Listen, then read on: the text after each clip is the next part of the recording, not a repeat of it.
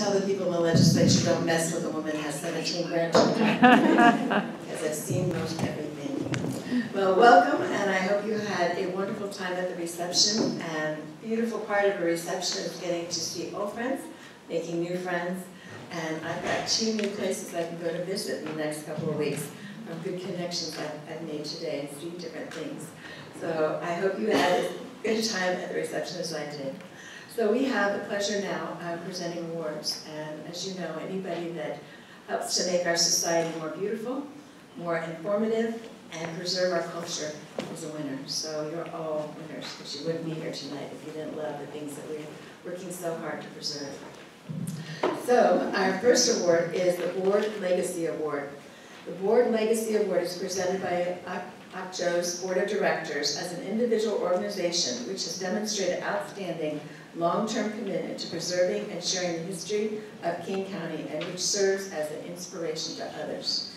This year's ACO, I'm sorry, AKCHO Award is, we are pleased to present the Legacy Award to the Honorable Cecile Hansen, Chairperson of the Duwamish Tribe. I'd like to invite Cecile to join us here on stage.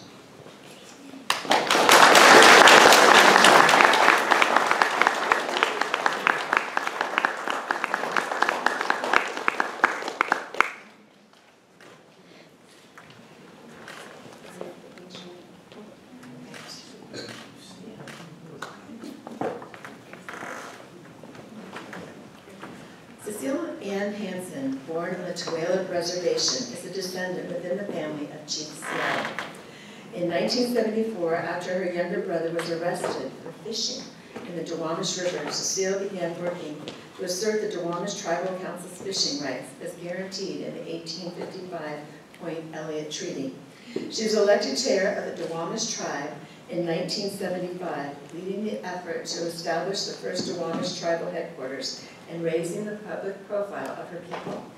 In the late 1980s, she served as protocol officer for the Burke Museum and was a liaison to many Northwest tribes as the Burke developed its 1991 exhibit, A Time of Gathering.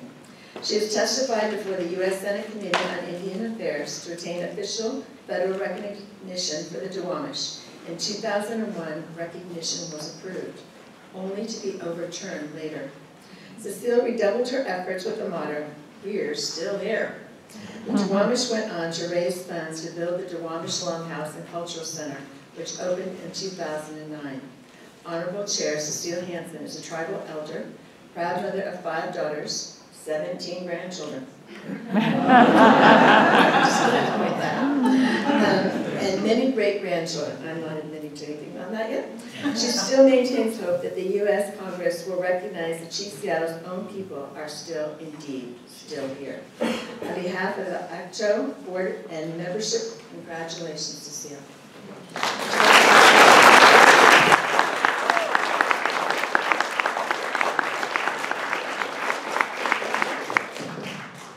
I am extremely honored to accept this on behalf of the Duwamish tribe, the indigenous people of Seattle. And I have um, hung in there because it's right to defend the indigenous people of Seattle. And I am happy to be here. But I'm getting older, and I'm hoping, my daughter said, now say some nice things. I'm trying to do that. but I am honored to represent this tribe because of my brother. He's the one that got me involved. I was just minding my own business, but I'm, but I'm here because of all the Duwamish people. We're, we are still here. And we gave up, and I have to tell you, we gave up 54,000 acres, which is Seattle.